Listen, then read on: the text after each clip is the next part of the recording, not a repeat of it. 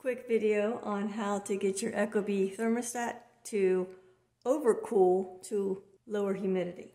First, we're going to turn the feature on. So go to Menu, the three bars, go to System, Dehumidify using AC. See it's on, and now you slide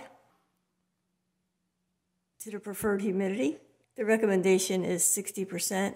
So once that's set, you just back out now we're going to configure the max overcooling to reach our desired humidity. From the home screen, tap the menu bars.